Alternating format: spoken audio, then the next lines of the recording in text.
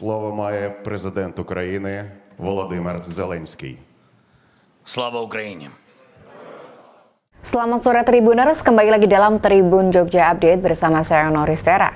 Kali ini kami akan menghadirkan kepada Anda berita terkini terkait skenario Ukraina jika Zelensky terbunuh.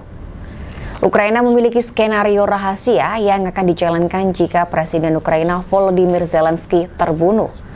Presiden Zelensky mengatakan dia mungkin akan menjadi seperti Presiden Rusia Vladimir Putin jika terus memikirkan ancaman Rusia untuk membunuhnya. Politico melaporkan jika Presiden Ukraina Volodymyr Zelensky terbunuh, ia dapat digantikan oleh tim pejabat senior terpilih dengan penggantinya yang sah bertindak sebagai boneka. Konstitusi Ukraina dengan jelas menyatakan jika presiden tidak dapat memenuhi tugasnya, Ketua Parlemen Ukraina saat ini, Ruslan Stefanchuk, yang harus mengambil alih.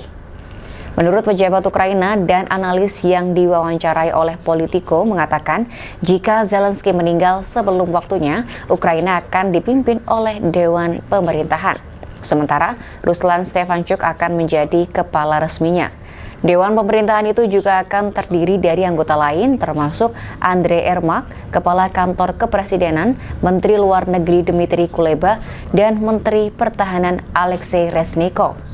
Valery Zaluzny yang saat ini mengepalai militer Ukraina juga diperkirakan akan mempertahankan jabatannya.